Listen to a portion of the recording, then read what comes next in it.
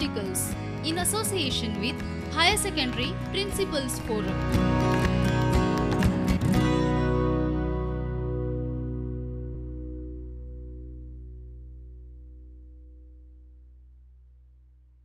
Famous author Louis Schwartzberg once said, Nature has invented reproduction as a mechanism for life to move forward as a life force that passes right through us and it's a link between we and the evolution. Thus, reproduction is very important aspect of our life and it's reproduction that calls us living being because that's one sole criteria to calls us living. I am Ms. Naik, teacher from St. Xavier's High Secondary School, is going to deal with you today the topic human reproduction. So before we go into depth of this chapter, we shall take a quick review of each and every step involved in human reproduction. Human beings are unisexual and viviparous. That is, two parents will be involved, a male parent and a female parent.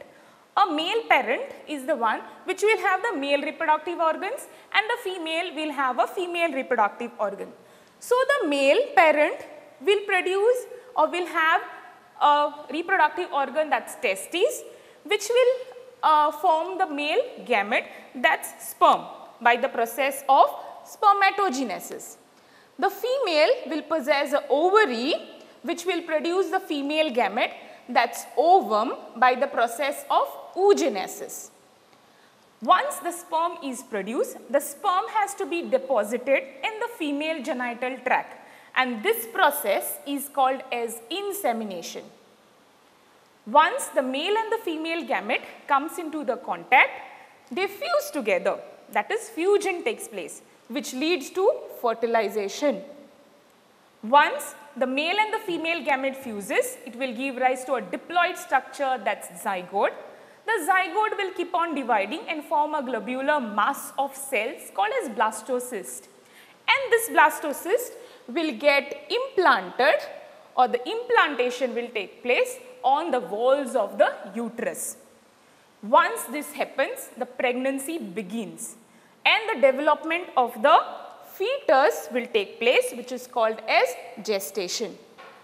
And the entire process will end with the delivery of the baby that's parturition.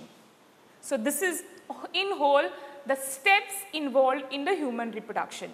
So we shall deal with each and every one in detail now. So like how we studied reproduction in general, that is to be precise the sexual reproduction, the sexual reproduction is divided in three phases. The first phase is the pre-fertilization phase in which the gametes are produced. The second phase is the fertilization phase in which the gametes will fuse. And the third phase is the post-fertilization phase. So we shall also study this chapter in these three phases. To begin with, the human reproductive system are two kinds because two parents are involved that is the male reproductive system which consists of the reproductive organs which are involved in production of sperms and, and uh, the transfer of them and may be involved in production of certain secretions which are important for fertilization. And the second reproductive system is the female reproductive system which is present inside the female and which are involved in production of the female gametes and the fertilization. So the male reproductive system. Male reproductive system consists of four parts. The first is the paired testes. Then the ducts, the accessory ducts which are involved in carrying the sperms which are produced in the testes to the parts where it has to be deposited in the female genital tract. There are third thing, there are accessory glands which are involved in production of certain secretions which are important for the process of fertilization. And the fourth part is the external genitalia that's penis. So these are the four parts of the male reproductive system. The first, in general, the male reproductive system is situated in the pelvic region of the human beings, the males, okay, just below the abdomen. The first one is the paired testes. Paired testes are the primary sex organs in males and they are involved in production of sperm and the hormone which is very important for the sexual reproduction that's testosterone. Now, the position of the testes. Generally, the testes when the, before the birth, the testes are formed within the abdomen. But generally it is seen that soon after the birth or even at the eighth month of the pregnancy, the testes descend out of the abdomen through a canal called as inguinal canal. And it descends into a pocket, a sac-like structure called scrotal sac or scrotum. What is the scrotum and why? And why the testes descend out of the body?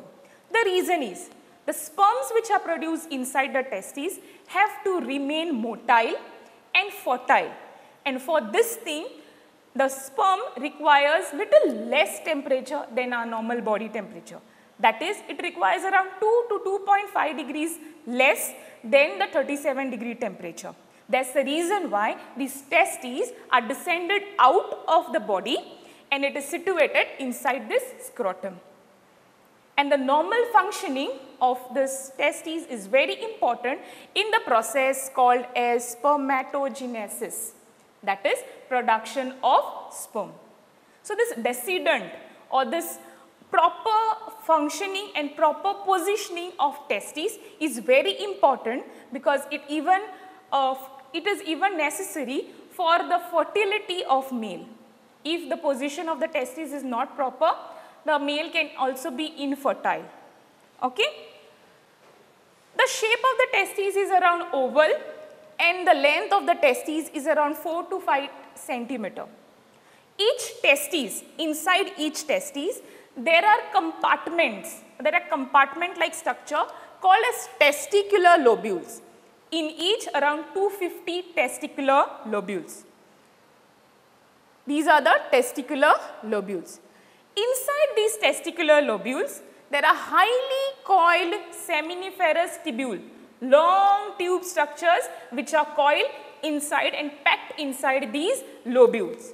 Now, if you take a cross section of these tubules, like how we take a cross section of a stem, now, if you take a cross section of this tubule, now if you see here in the diagram, you have the testes. Inside the testes there are lobules and inside the lobules there are seminiferous tubule. This tubule you can see it is shown like it is coming out and we have taken a section of this tubule.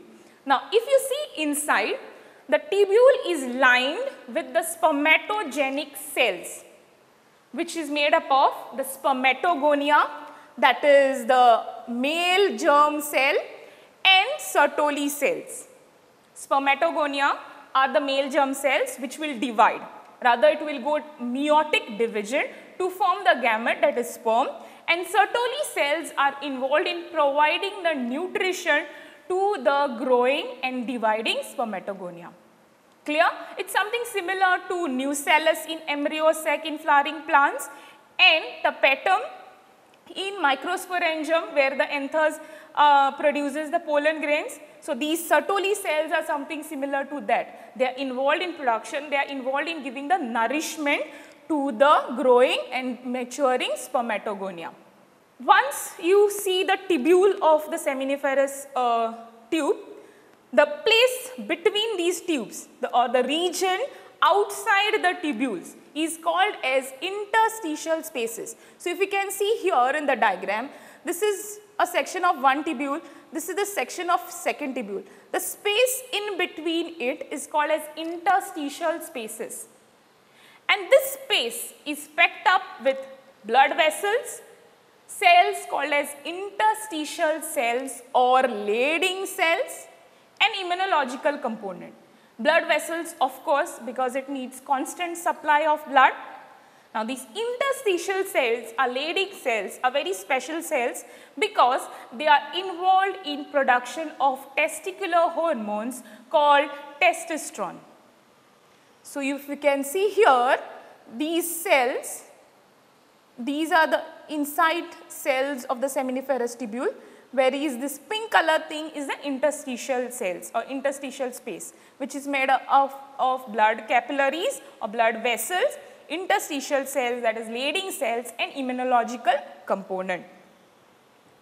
The second part of the male reproductive organ is accessory ducts. The ducts which are involved in the transport of sperm. The first one is rete testis. Okay? Then the vasa efferentia, epididymis and vas deferens. These four ducts uh, make up the part of the accessory ducts of male reproductive system.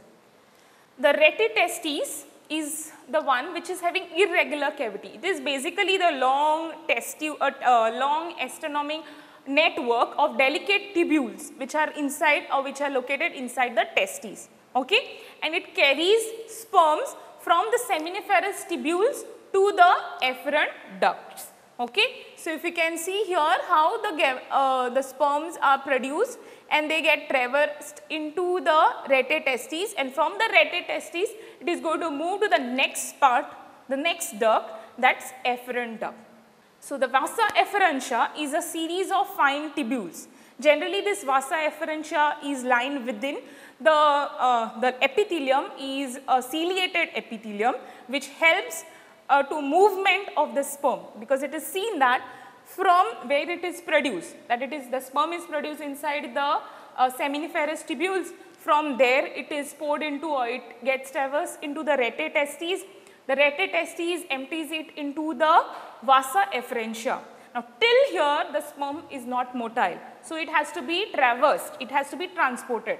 So the cilia inside the walls of the vasa efferentia helps in the movement of the sperm. And now the sperm is into the epididymis, that is the next part. So this is epididymis, which is the next part of the accessory duct. Now the epididymis stores sperms temporarily. So here all the sperms which are produced in the seminiferous tubules will be stored. The epididymis empties the uh, sperms into the vasa efferentia. That is the next duct which goes up towards the uterus. It takes a turn near the seminal vesicle and opens into a common uh, duct and connects into the through the urethra. So these are the four ducts, accessory ducts that's rete testis, vasa efferentia, epididymis and vas deferens. Okay?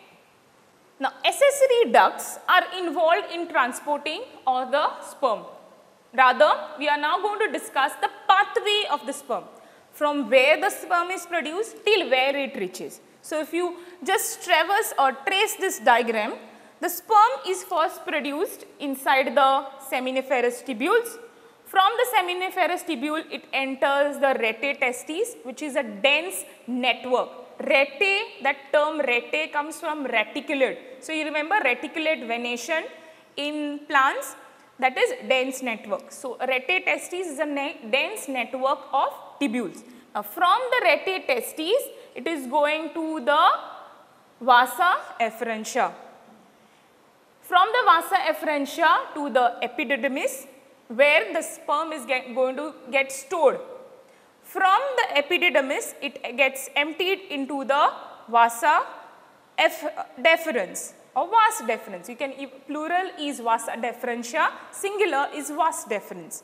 Now from here, the vas deferens will open up into a broad region called as ampulla which connects it to the common ejaculatory duct. Now why I call common ejaculatory duct? Because this is the place where the ducts, the accessory ducts are also attached to. Okay? So, all the secretions which are involved are also getting emptied at this place. That is the accessory ducts, the secretions of the glands. Okay? So, now where the sperm has reached is the ejaculatory duct. From the ejaculatory duct, it is going to the urethra which is present inside the penis and from the urethra it comes out through the urethral meatus. So, this is the pathway of sperm. Next is the accessory glands. Now, what are accessory glands? Glands are those structures which are involved in production of certain secretions And these accessory glands in the male reproductive system secrete secretions which are involved in the fertility, maturation, nurture, nurturing of the sperms. There are three glands. The first one is the seminal vesicle. So, if you can see here, these are the seminal vesicle. So, you have paired seminal vesicles, two seminal vesicles, a paired prostate gland and a pair of bulb urethral gland which is also called as Cowper's gland. Now their secretions collectively is called as seminal plasma. I repeat, the secretions of the accessory glands that is seminal vesicle, prostate and bulbourethral gland is called as seminal plasma. And the seminal plasma when gets added on with the sperm, it is called as semen.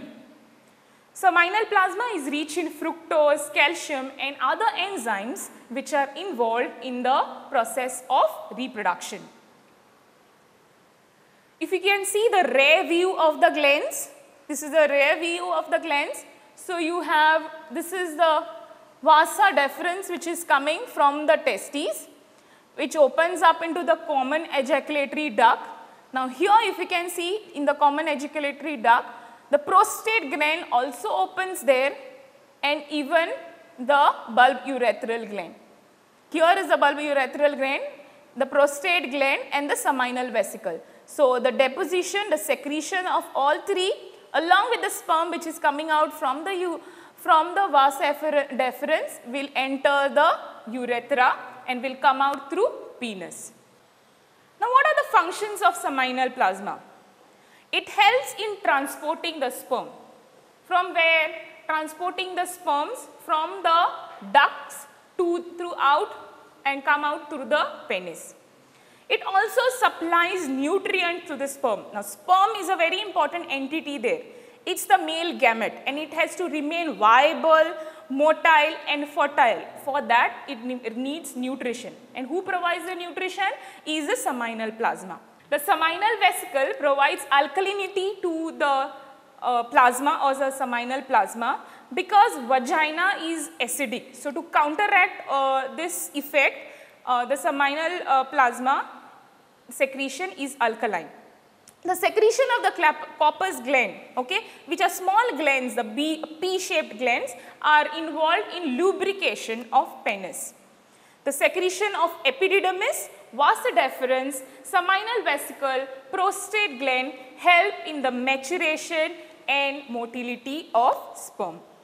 Next, the last part that's the external genitalia commonly called as penis. It's a copulatory organ. It is made up of special tissue which enables it to become erect because for the process of insemination, that's deposition of the sperm into the female tract, the penis to become erect is very important. So it is made up of a spongy tissue which is filled with the blood capillaries and when it gains the blood it becomes erect and facilitates the process of insemination. The penis uh, tip is a cone shaped and it is called as glans penis.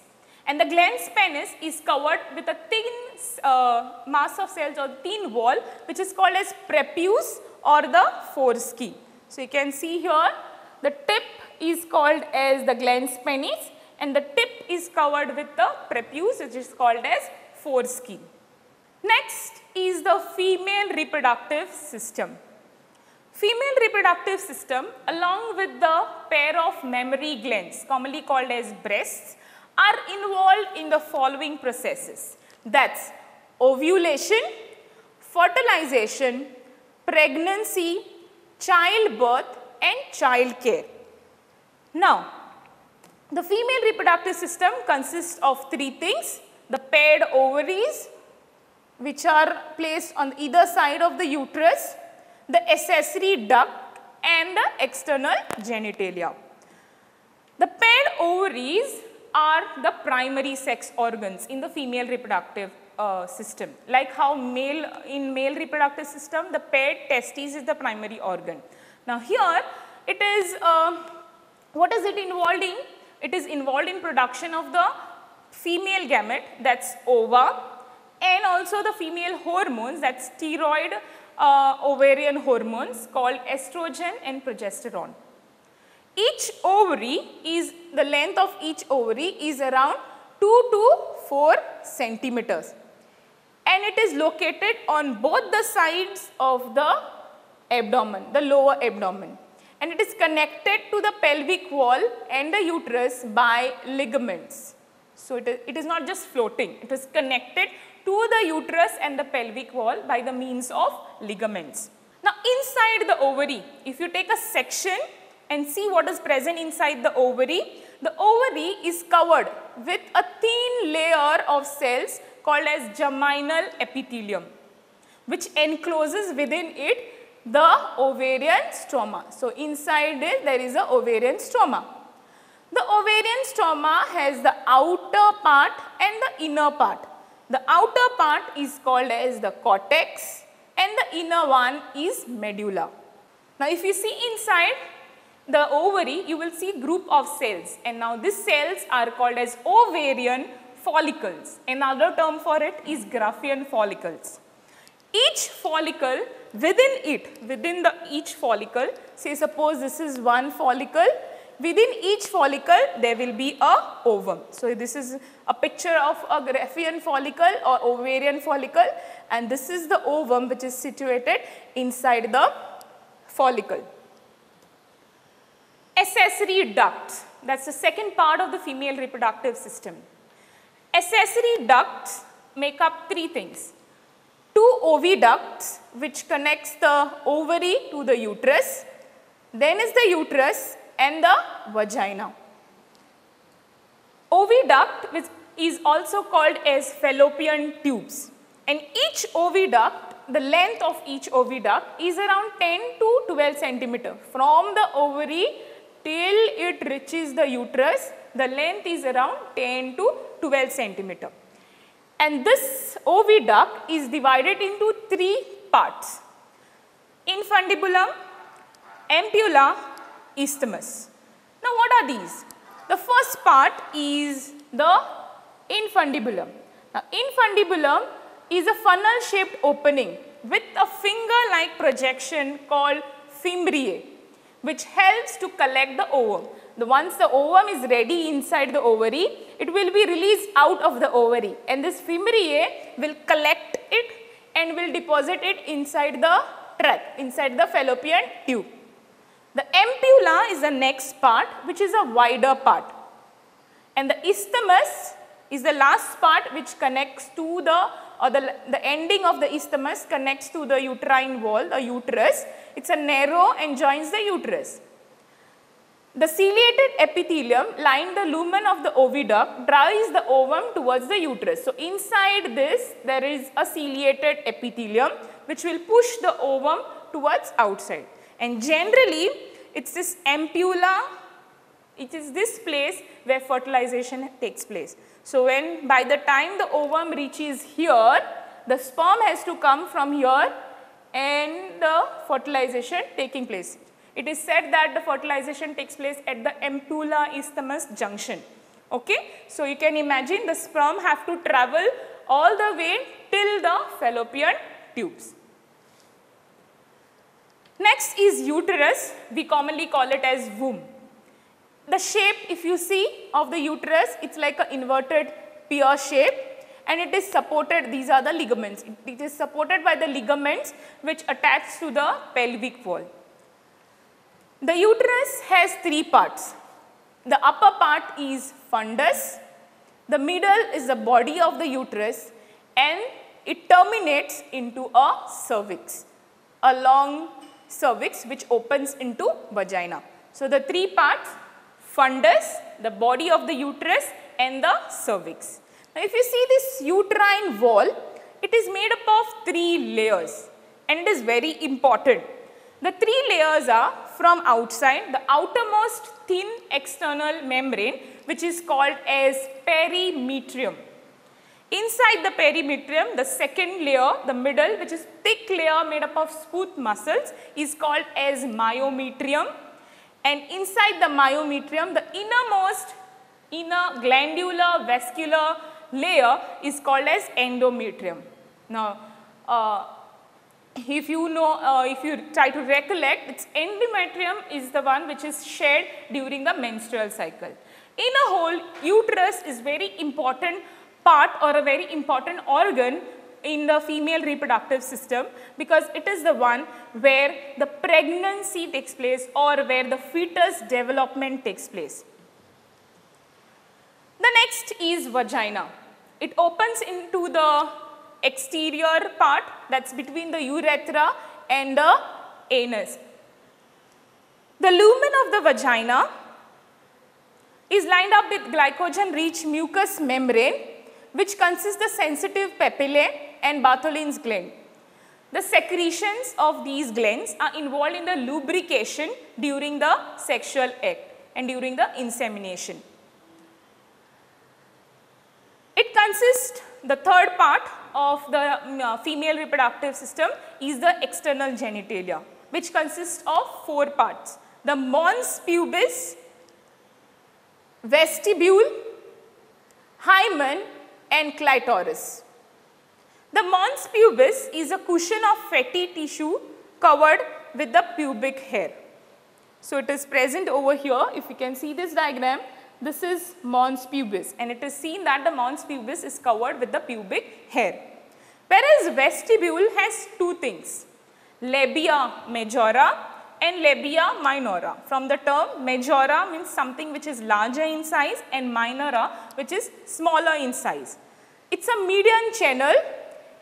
So, labia majora, if you can see here the labia majora, it's large, fleshy, fatty and has a hairy outer folds and surrounds the vaginal opening. So, this is the vaginal opening and it surrounds the vaginal opening. Whereas, the labia minora is a small, thin, hairless inner fold. So, labia minora is inner fold and labia uh, majora is outer fold. Next is the hymen which is called as maidenhead. Hymen is a thin membrane, a thin film like structure which partially covers the entry or partially covers the opening of the vagina. It is often torn during the first coitus. But it is also seen that in case of vigorous sports activity, the hymen can be broken. So, hymen is not a reliable indicator of virginity because it is also seen that hymen may remain intact even after the first coitus. The last part of the external genitalia is clitoris and it is very sensitive organ lying just in front of the urethral opening. So, this is the clitoris this organ is packed of the sensory neurons and it, uh, it is a highly sensitive organ which is involved in providing the pleasure during the intercourse. Next, the mammary glands. A pair of mammary glands contains glandular tissue and fat. A mammary glands are commonly called as breasts. Now, if you see the diagram of the mammary glands, the glandular tissue of each breast, now this is the glandular tissue and the yellow color part is the fat. Now the glandular tissue has around 15 to 20 mammary lobes. Now these are the lobes. Now inside each lobe there will be a mammary alveoli which is present. And these alveoli are the one which are involved in secretion of milk. Okay, which is very important part to provide the nutrition to the delivered baby and the milk which is produced is stored inside the cavity, inside the cavity called as lumen inside the alveoli. So, you have the alveoli, if you can see here the alveoli will open in the tube called as mammary duct. So, alveoli of different lobes will open in a common duct called as mammary ampulla which is further connected to the lactiferous duct. And the lactiferous duct opens into the nipple from where the milk is sucked. So, if we can trace it again, the alveoli will open in the mammary tubule. The mammary tubule is connected to the mammary duct. the mammary ducts coming from various lobules is opening into the mammary ampulla. And from mammula, uh, mammary ampulla, it is deposited inside the lactiferous duct which opens out through the nipple from where the milk can be sucked. So, this is the a sequence of milk conduction. So, this is where we have now dealt with the male reproductive part and the female reproductive part. Next, we shall go in the details of what these parts are involved in that is production of gametes which is called as gametogenesis. Two organisms that is two parents involved male and the female so two types of gametogenesis. The male gamete production is called as spermatogenesis and the female gamete production is called as oogenesis. Spermatogenesis. Where does the spermatogenesis take place? Inside the testes. And where inside the testes? Now remember and recollect inside the testes there are seminiferous tubules. Now inside the seminiferous tubules there are spermatogonial cells. Now these are the cells which will divide and will form the sperm. Okay. So if you can see over here these are the cells which are dividing and forming the gamete that is sperms. So, the stages of spermatogenesis it can be roughly divided into two stages. First is the formation of spermatids. So, the spermatogonia which is present will divide and will form the spermatids. Spermatogonia are also called as sperm mother cells. Now, they will divide and form spermatids. These spermatids later will get transformed into the sperm and this process is called as spermiogenesis. So, the first part, if we see over here, these are the cells, the spermatogonial cells. They are called as primary primordial germ cells. Now, these primordial germ cells will mitotically divide to increase in number. Okay? which are now called as spermatogonium or spermatogonia in plural.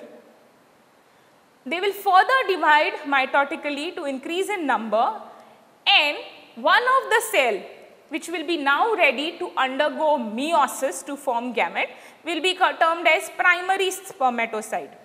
Now this primary spermatocyte will enter the first meiotic division that's meiosis to form two cells which are haploid called as secondary spermatocytes. Now here make a note students, human beings are diploid in nature.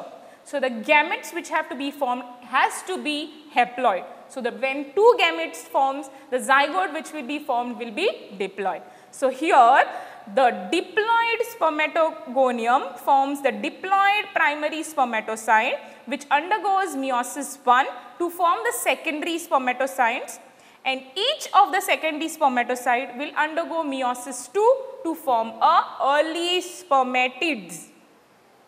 Now what happens to these early spermatids? Remember along with the spermatogonial cell there are Sertoli cells present inside the tubules.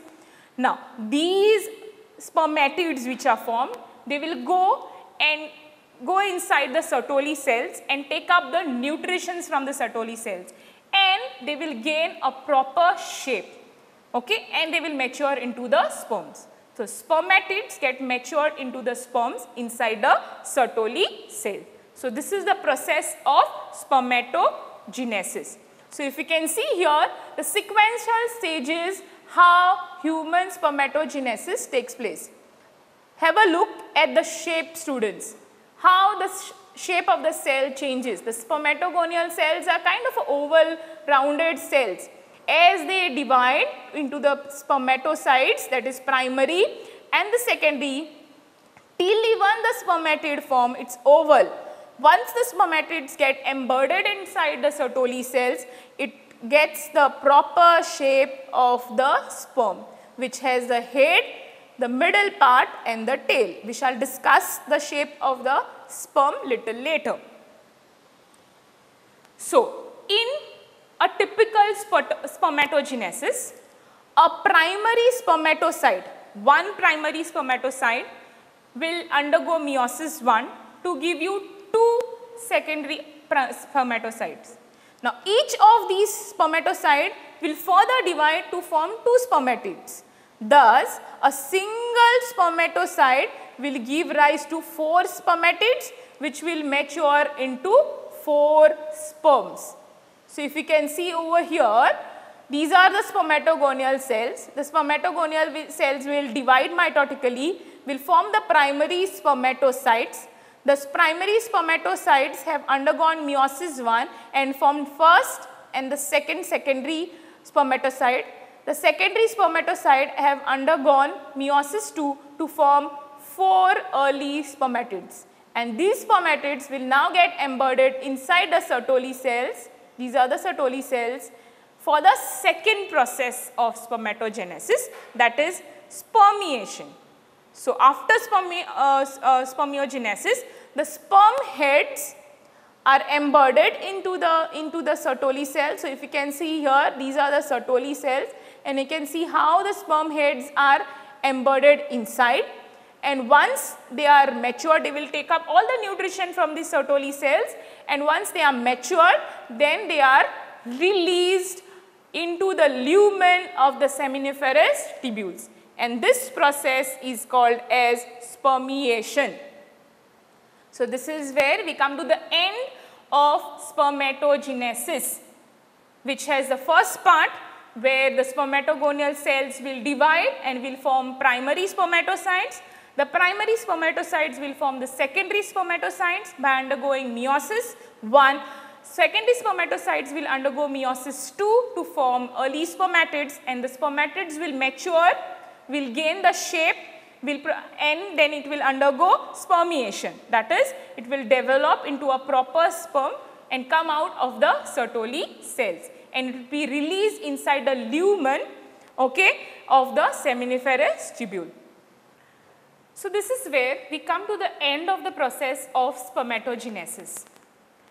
Spermatogenesis in males take place during the puberty when the males re reach at the pubertal stage. Now, I have a question.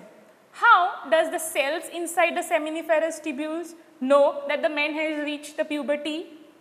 And the answer is the hormonal coordination. There is a hormonal dialogue which leads into the production of gametes. So, inside the brain, the hypothalamus triggers and secretes a hormone called as gonadotropin releasing hormone. These gonadotropin releasing hormone acts on the pituitary gland to secrete two gonadotrophins which are termed as luteinizing hormone and follicle stimulating hormone LH and FSH. So, LH which is called as luteinizing hormone will act on the Leydig cells which is present outside in the interstitial spaces whereas the FSH will act on the Sertoli cells which are present inside the seminiferous tubule. Luteinizing hormone makes the Leydig cell to secrete androgen to be precise testosterone which stimulates spermatogenesis which will start in the process of spermatogenesis wherein the cells will start dividing and forming the gamete. Whereas the follicle stimulating hormone acts on the Sertoli cells and in return the Sertoli cells will stimulate the secretion of factors which are involved and which are necessary for spermiogenesis. So, I repeat, you have a hypothalamus which is situated in the brain. It is a gland which is involved in secreting different hormones. It will secrete a particular type of hormone called as gonadotropin releasing hormone, GnRH. Now, this gonadotropin releasing hormone, uh, it will go and act on the pituitary gland, the anterior part of the pituitary gland and it will secrete two gonadotrophins. The first one is luteinizing hormone and the second one is follicle stimulating hormone. Luteinizing hormone will act on the Leydig cell. The Leydig cells are involved in the secreting uh, androgens which stimulate the process of spermatogenesis. Whereas the follicle stimulating hormone acts on the Sertoli cells which stimulates the secretion of factors which are responsible for spermiogenesis. The structure of the sperm. A mature sperm is around 60 micrometer that's roughly around 0.6 millimeter long. The sperm is enveloped, so outer covering is called as plasma membrane. The entire thing is covered with the plasma membrane and it is divided into three parts. That's the head, the middle piece and the tail. The head is the oval shaped structure which is formed of nucleus and acrosome. So, here it has a nucleus which is whether the nucleus of the sperm will be haploid or diploid. Obviously, it will be haploid because sperm is a gamete and gamete is haploid. So, the nucleus inside will be having a, is a haploid in nature and on top of the nucleus there is a cap-like structure called acrosome. Now, acrosome is formed from the Golgi complex and it contains lytic enzyme and these enzymes are involved in the proper entry of the sperm into the ovum. Rather, it is involved in the digest, digestion of the walls of the ovum so that it can enter inside the ovum. Behind the head is the neck. So, this small region is the neck. The next part is the middle piece which is composed of axial filament surrounded by mitochondria and cytoplasm. When I say mitochondria, what is the first thing that comes to your mind? Mitochondria is powerhouse of the cell. So, obviously, the mitochondria will produce ATP. And why the sperm cells requires more ATP? Because my, the sperm needs motility. The sperm has to be motile, it has to travel from the female genital tract till the fallopian tubes. So, this energy is gained due to the mitochondria which is present in the middle piece. The last part is the tail which consists of the central axial filament, uh, the sperm which is moving in the fluid medium and in the female genital tract by the undulating movement, the constant movement of the tail which helps the sperm to move. Roughly a human male ejaculates per, at a time about 200 to 300 million sperms during a coitus. So, uh, at a particular coitus, it, uh, human male will ejaculate around 200 to 300 million sperms.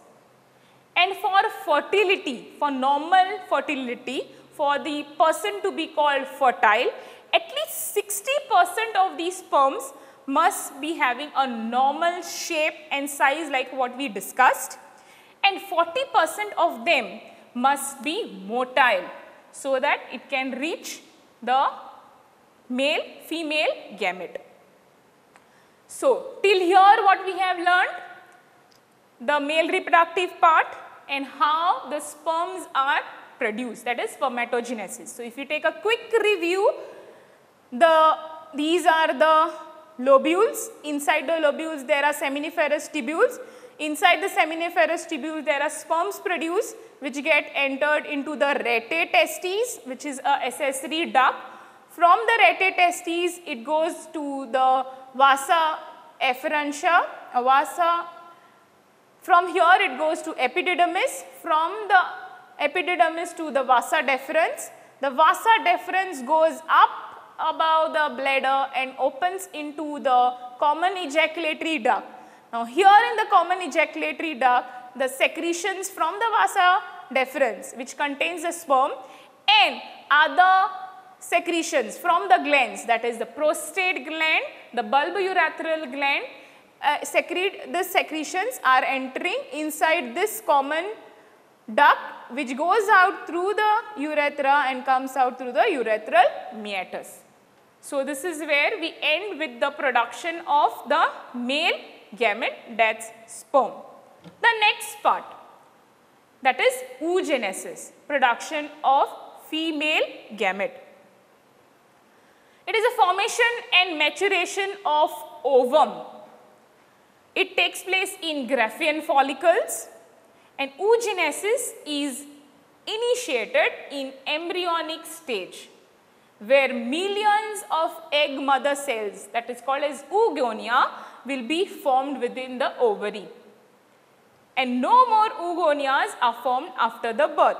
So, unlike spermatogenesis, oogenesis is quite different. Spermatogenesis, the sperm production takes place when the male reaches the puberty, whereas in females, the oogonial cells which are involved in produ production of ovum is formed already at the embryonic stage. When the sex of the child is formed or when the child is about to become a female, at, at that time inside the ovary, the egg mother cells will be formed and no egg cells are formed after the birth. Then the oogonia will multiply and form the primary oocytes which will undergo meiosis but it will be arrested at the first part of meiosis. 1 that is prophase 1 and only once it reaches the puberty it will continue its division. So, if you look at the oogenesis in whole you have the oogonial cells. These are the oogonial cells which will divide and form the primary oocytes which will enter the first meiotic division that is the prophase 1 and it will form a primary oocyte. So, this is how the primary oocyte will look like. This is when the child comes to birth. So, in whole oogenesis takes place in three stages. First stage is before birth, the second stage is at every month of the puberty, that's every month or every time of your menstrual cycle and the third phase is after fertilization. So, you have a diploid oogonium which is formed before the birth which will undergo mitotic division, increase in number and will form primary oocyte. Now, this primary oocyte will further enter the meiotic division, it will enter meiosis 1, get arrested and remain there. Once the female reaches the puberty, the division will continue and the first division will complete and two cells will be formed which will be haploid.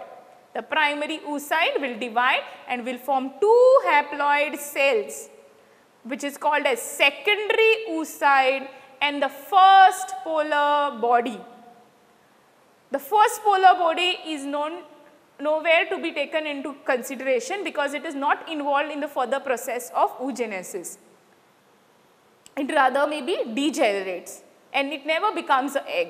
The secondary oocyte which is now arrested at the metaphase of the meiosis 2 will enter ovulation only when the egg which is released is fertilized. So, the actual part of the meiosis 2 will be complete when the egg emits the sperm. So, this is the entire process of oogenesis. So, the each primary oocyte which is formed will be surrounded by a layer of granulosa cells to form a primary follicle. Now, each primary oocyte is surrounded by a layer of granulosa cells to form a primary follicle.